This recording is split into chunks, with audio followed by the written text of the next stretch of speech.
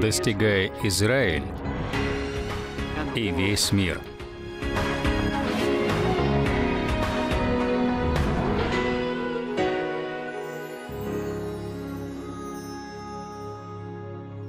Барух Хашем, благословенно имя Господа.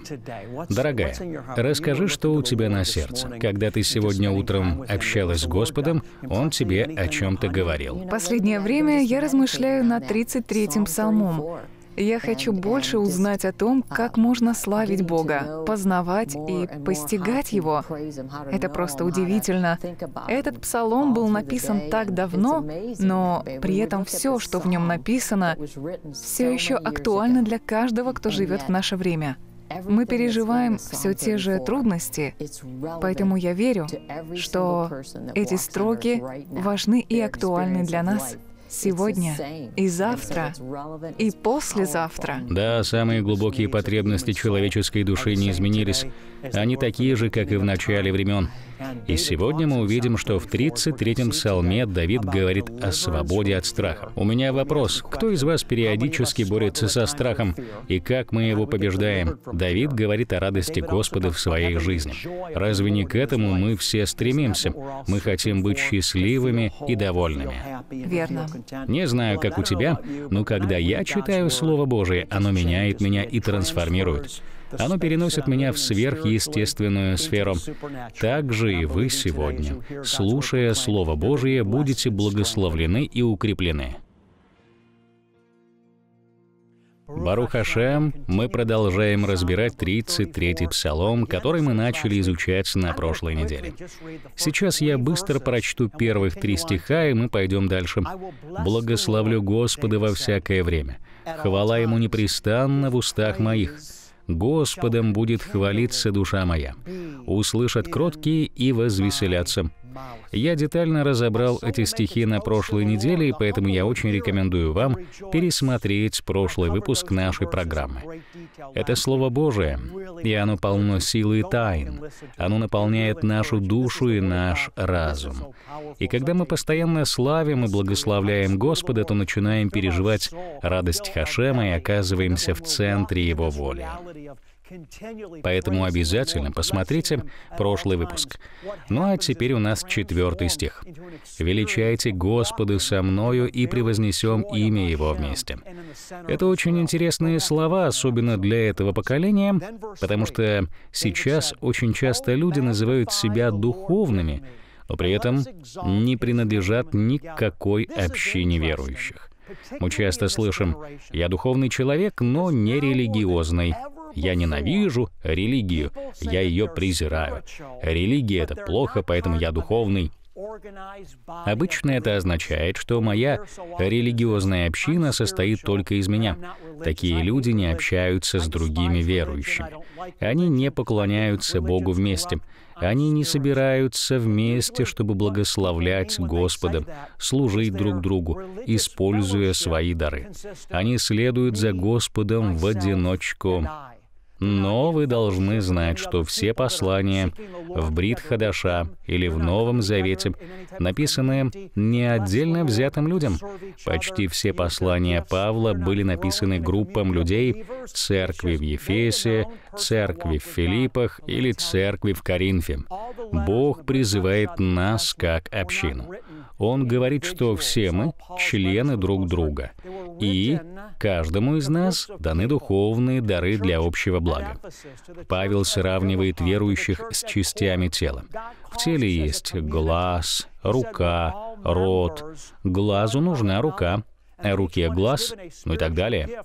Именно все эти части тела вместе делают нас целостным организмом. И Павел сравнивает это с нашими отношениями с Хашемом, с Богом. Нам нужно собираться вместе с другими людьми, которые знают и любят Его, потому что у них есть нужные вам дары, а у вас есть то, что нужно им. Итак, только когда мы собираемся вместе, в полноте и в единстве, мы ходим в целостности. Поэтому Давид говорит «величайте Господа со мною и превознесем имя Его вместе». У Давида были особенные отношения с Богом. Бог говорит, что Давид был человеком по его сердцу. Давид очень любил Бога, но его отношения с Богом не были изолированными. Он общался о своей вере с другими людьми, которые также любили Бога. Так же должно быть и у нас с вами. В Новом Завете сказано «не покидайте собрание своего», как это уже вошло в привычку у некоторых. Давайте собираться вместе все чаще, потому что День Господень все ближе и ближе. Мы должны быть готовы к приходу Иешуа. А как мы должны готовиться к этому? Иметь общение с телом Христа, то есть с другими верующими. Поэтому я хочу сказать вам вот что. Возможно, вы сейчас полностью здоровы, и у вас нет причины не посещать свою церковь или общину, но вы почему-то этого не делаете. Но это очень важно. Давид говорил об этом, и Новый Завет говорит об этом также. Мы названы невестой Христа, телом Мессии, поэтому мы должны быть вместе. Мы продолжим читать пятый стих. «Я взыскал Господа, и Он услышал меня, и от всех опасностей моих или страхов моих избавил меня. Надеюсь, вас это тронуло. Когда я это читаю, меня всегда это трогает. Это один из моих любимых псалмов. Послушайте его еще раз. «Я взыскал Господа, и Он услышал меня». Это означает, что Бог ответит вам. Иисус сказал, «Всякий просящий получает, и ищущий находит, и стучащему отворят». Иными словами, каждый просящий или спрашивающий получит ответ. Так сказал сам Иисус Господь. А Яков сказал, «Не имеете, потому что не просите». Давид сказал, «Я взыскал Господа, и Он услышал меня». Дорогие мои друзья, я призываю вас, просто продолжайте говорить с Богом. Говорите с Ним в течение всего дня. Говорите с Ним о ваших чувствах, о ваших проблемах. Благодарите Его за все хорошее. Признавайте Его присутствие в вашей жизни. Например, у вас есть сознание, потому что Он дал его вам. Иными словами, благодарите Его за все хорошее, что Он уже делает, за то, что вы можете почувствовать вкус еды и наслаждаться ею. Это удовольствие — Наш Бог — Бог удовольствий. И вы испытываете все эти удовольствия, потому что Бог создал вас по своему образу и дал вам способность чувствовать это удовольствие. Если выглянуть на улицу, то вы увидите что-то красивое. Деревья, луну, солнце, птиц, цветы, что бы то ни было, воздайте Богу хвалу за это. Признавайте Его говорите с Ним, а также делитесь с Ним вашими печалями и болью, даже вашими сомнениями. Продолжайте говорить с Господом, потому что, как сказал Давид, «Я взыскал Господа, и Он услышал меня». То же самое Бог будет делать и для вас. Когда вы будете говорить с Богом, я вас уверяю, Он вам ответит обязательно. Но не молчите, Продолжайте стучать и просить. Итак, Давид искал Бога, и Бог ответил ему. Каким же образом? Давид говорит, «И от всех опасностей или страхов моих избавил меня». Не знаю, как у вас, но в моей жизни был двухлетний период до того, как Иисус явился мне, когда я был полностью скован страхом нам постоянно приходится сражаться со страхом, потому что мы живем в опасном мире, в котором полно этих самых страхов. Но я говорю не о моей нынешней борьбе со страхом. До встречи с Иешуа я находился под сильным угнетением дьявола. Хотя мне, как еврею, никто даже не рассказывал о дьяволе. Я ощущал присутствие дьявола, хотя никто меня не учил тому, что он существует. Я находился в узах страха. Я мучился, но как только Иисус сверхъестественным образом явился мне в моей спальне в 78 году, 90% этого страха оставило мою жизнь. Давид писал, «Я взыскал Господа, и Он услышал меня, и от всех опасностей или страхов моих избавил меня». Я хочу помолиться за вас. Дорогой Небесный Отец, спасибо за этих драгоценных людей, которые смотрят эту программу и слышат слова псалма Давида. Я знаю, что некоторые из них сейчас страдают от боли, от страха, печали или замешательства. Многие чувствуют себя пустыми и потерянными, и многие мучаются от этого самого страха. Я знаю, что часто этот страх беспочвенный и нелогичный, или же раздутый до нереальных размеров. Поэтому я прошу Тебя во имя Иисуса послать своих ангелов и разрушить всякий страх в жизни Твоих детей. Я беру власть над всякими страхами, которые мучают вас, и над силами тьмы, приносящими вам страх, и разрушаю их во имя Господа Иисуса Христа, будь то страх болезни, страх одиночества. Помните, Иисус любит вас, Отец любит вас, и Он послал к вам Своего Сына, чтобы вы никогда не были одинокими, поэтому не бойтесь. Иешуа пришел, чтобы дать нам с вами свободу. Аминь. Барух Хашем. Аминь. Вы свободны в нем.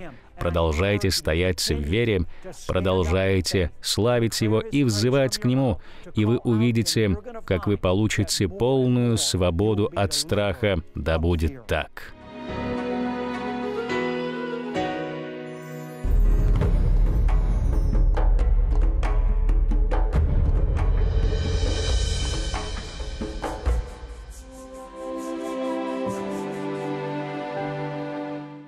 Нам нужно спросить себя, почему мы не евангелизируем больше.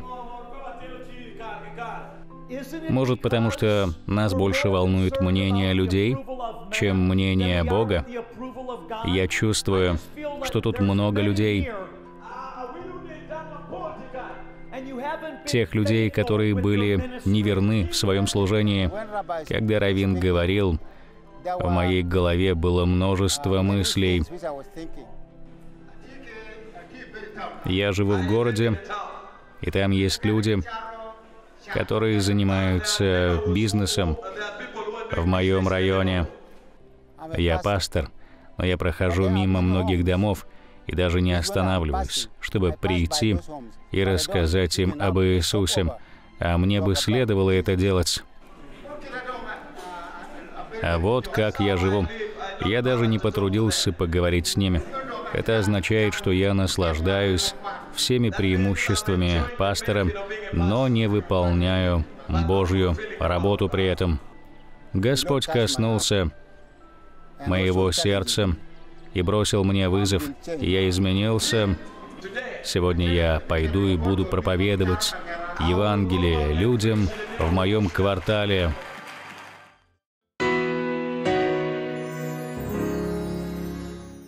В шестом стихе Давид продолжает. Он говорит о своих собратьях, о святых, о других верующих и избранных Божиих, то есть о нас с вами. Послушайте, что он сказал. «Кто обращал взор к нему, те просвещались, и лица их не постыдятся». И тут снова представлены две идеи. В этом псалме столько откровений. Вначале Давид говорил, что верующие, святые, избранные Божьи, Божьи люди обращают к Богу свой взор и просвещаются или светятся когда ваши глаза на Боге, когда вы сфокусированы на Иисусе, вы будете иметь победу в жизни. Мы сражаемся и должны побеждать. В книге Откровения Иешуа семь раз говорит, что побеждающий унаследует многое. Он унаследует рай — он будет трапезничать в саду. Поэтому вы должны побеждать в ваших сражениях. И когда ваши глаза сфокусированы на нем, и он на первом месте в вашей жизни, то вы будете светиться все больше и больше. От вас будет исходить сверхъестественный свет, который будет очевиден для окружающих. Божий Дух будет наполнять светом ваше тело. Вы даже будете выглядеть иначе из-за радости Божией в вас. Вы когда-нибудь видели такого человека, у которого хорошие отношения с Богом, и на нем даже видна слава Божия? Видели? Ее можно увидеть телесно. Такие люди будто бы излучают свет, который вы видите собственными глазами. Но если взять того же человека в другой день, когда ему плохо, он устал или расстроился, то он будет выглядеть совсем иначе. Может показаться, что он постарел лет на 15, но через неделю вы снова видите его, и он снова светится, он полон света и будто бы снова помолодел на 15 лет. Почему же такая разница? Все из-за Духа Святого. Дух Святой дает жизнь нашему смертному телу. В Новом Завете сказано, «Если же Дух того, кто воскресил из мертвых Иисуса, живет в вас, то Он оживит и ваши смертные тела Духом Своим, живущим в вас». Дух Божий реален. Он живая личность, а не просто идея. Вы не можете увидеть его своими глазами, но гравитацию вы тоже не можете увидеть, как и телевизионные или радиоволны. Есть много всего, чего мы не видим своими глазами, но это реальность. Так и Дух Божий реален. Библия говорит, если Дух, который воскресил Иешуа из мертвых, живет в вас, то Он даст жизнь вашему смертному телу. Вы будете здоровее, будете выглядеть моложе, и ваши органы будут сверхъестественно хороши. Давид сказал, кто обращал взор к нему, те просвещались, и лица их не постыдятся. Давайте прочитаем это еще раз. Это шестой стих. Кто обращал взор к нему, те просвещались, и лица их не постыдятся. Знаете, что это означает? Вы будете победителями по жизни. Вы никогда не постыдитесь. Неважно, что говорят о вас люди, неважно, что думают о вас ваши родные, потому что очень часто, как сказал Иисус, пророк остается без почести именно в родном доме. Иногда наши родные критикуют нас больше всего. Неважно, что о вас думает семья или ваш работодатель. Неважно, что о вас думают соседи. Если вы еще учитесь, то неважно, что другие ученики думают о вас. Правда в том, что вам не будет стыдно. В итоге именно вы будете смеяться, и вы не будете опозорены. В Новом Завете сказано, что все уповающие на Него не постыдятся вовек. В итоге именно вы будете стоять на вершине. Я вам это обещаю. Библия говорит, что никто не может отделить нас от Божьей любви. Ни высота, ни глубина, ни прошлое, ни настоящее, ни будущее и никакое творение — Знайте, с чем бы вы ни столкнулись в жизни, вы победитель из победителей. Библия говорит нам, что еще не открылось то, какими мы будем. Когда мы увидим Его, то станем такими же, как Он. Вы будете прославлены, а не постыжены. Иисус в книге Откровения сказал любящим Его, вас могут гнать, преследовать и унижать, но в конце времен они увидят, что я полюбил вас. Вы будете стоять на вершине, вы не будете постыжены. Над вашей жизнью развивается знамя победы, и вы победитель. Библия говорит, что вы воскресли вместе с Мессией, и вы посажены вместе с Ним на небесах справа от Отца. Я хочу, чтобы вы знали, кто вы и какая у вас судьба. Вы победитель, вы дитя Божье. Вы рождены от Духа и призваны царствовать вместе с Ним.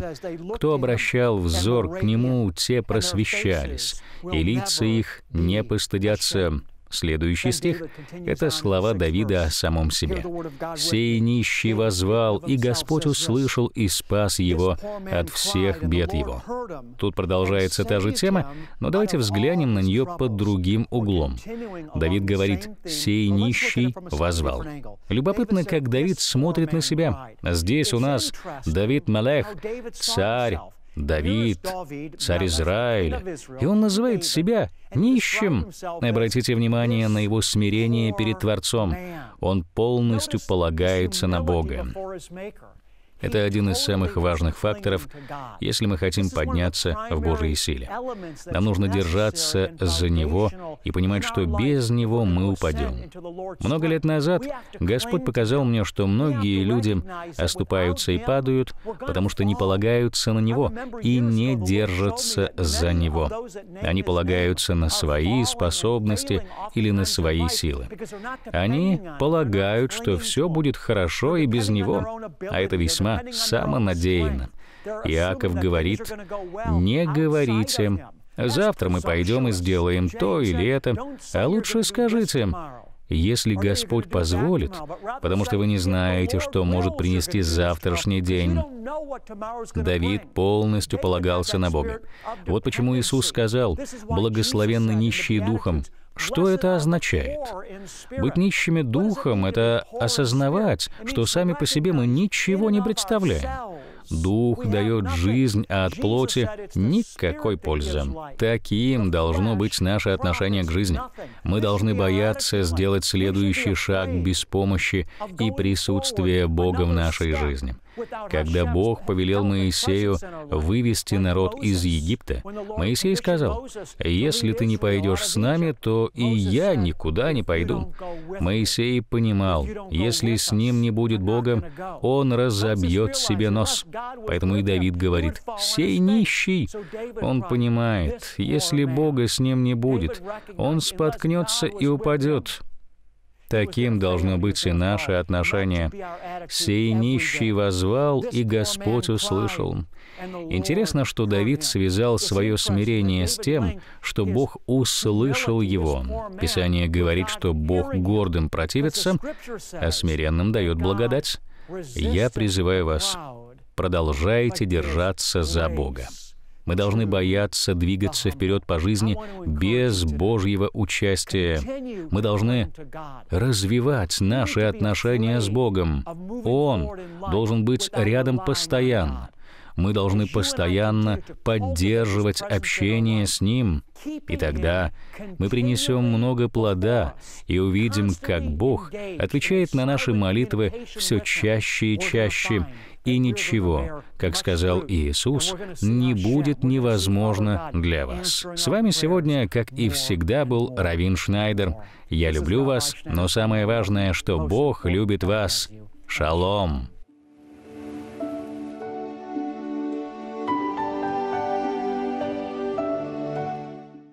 В книге чисел Бог повелел Моисею и Аарону говорить эти слова над народом его, и тогда он запечатлеет свое имя на них и благословит их.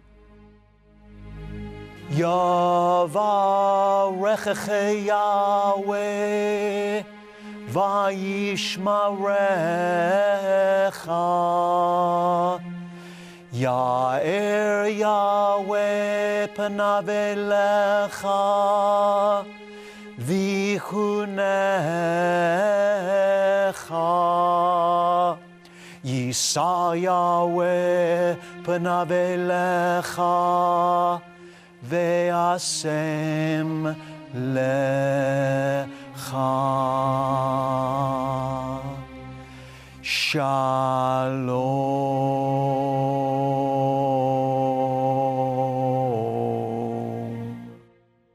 Пусть Бог Отец, Яхве, Бог Израиля, благословит вас и сохранит.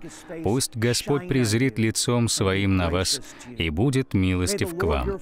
Да обратит Господь лицо Свое на вас. И пусть Бог Отец продолжает непрестанно давать вам Божий мир. Если двое из вас согласятся на земле просить о всяком деле, то чего бы ни попросили, будет им от Отца Моего Небесного. Позвольте нам молиться о вас. Присылайте нам на сайт ваши молитвенные просьбы или пишите на наш почтовый адрес. Наша команда молитвенников молится за каждую нужду в отдельности. Когда вы получите ответ от Бога, или если Бог коснулся вас через наше служение, вышлите нам свое свидетельство. Мы хотим радоваться вместе с вами. Ваше свидетельство вдохновит других. Мы побеждаем кровью Агнца и словом свидетельства своего. Сегодняшний выпуск был заключительным в серии «Псалом 33», сезон 1. Если вам понравилась эта серия и вы хотите приобрести ее, заходите на наш сайт.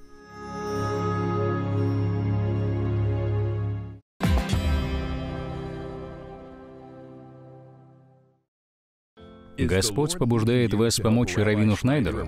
Он учит пастырей и несет Евангелие толпам людей в Африке, Южной Америке, Карибском бассейне, а также проповедует его в Израиле. И не стоит забывать про телеслужение, которое достигает мир для Христа. Ваша поддержка поможет Равину донести слово тем, кто никогда не услышит его. Посетите наш сайт, адрес которого указан на экране, или позвоните по номеру которые вы видите на экране, и помогите изменить жизнь людей во всем мире. Ваша поддержка очень нужна нам. Возлюбленные, я молюсь о том, чтобы Бог Отец продолжил и дальше использовать меня в качестве клинка Его Слова, которое живо и действенно острее меча обоюда острова. Оно приходит к нам в силе Духа Святого через Мессию Иисуса. Чтобы этот процесс происходил, я должен находиться под Его властью. А когда мы находимся под Ним, это влияет на наши мысли, наши отношения, наши слова, на все в нашей жизни, включая использование наших финансов.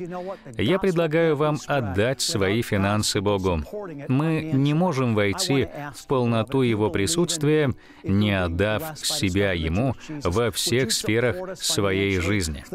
Если Господь благословляет вас через это служение, и вы ощущаете призыв сделать пожертвование, тогда, возлюбленные, я прошу вас, будьте послушны, Господь да благословит вас обильно. Если вы хотите стать нашим партнером, то отправляйте свои пожертвования по адресу, который вы видите на экране. Для пожертвований кредитной картой позвоните нам по номеру 800 3 семерки 7835 или отправьте смс. Или же вы можете сделать это на нашем сайте. В знак благодарности мы вышлем вам аудиопроповедь Равина Шнайдера и наш информационный бюллетень. Ваше даяние принесет Божие спасение в Израиль Израиль и весь мир через интернет, телевидение и крусейды. Свои смс-сообщения вы можете присылать нам на номер 45337. На Земле многие из нас верны Господу в финансах.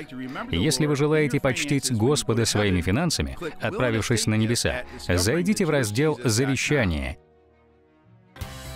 Телепередача Равина Шнайдера «Узнавая еврейского Иисуса» теперь доступна на русском языке на YouTube. Равин – еврейский верующий в Мессию Иисуса. Слушая и применяя принципы этих уроков, вы получите откровение сегодня для вашего лучшего будущего. Посетите YouTube сегодня и подпишитесь на канал «Узнавая еврейского Иисуса». Также убедитесь нажать на значок колокольчика рядом с кнопкой «Подписаться», чтобы получать уведомления и не пропустить ни одного эпизода.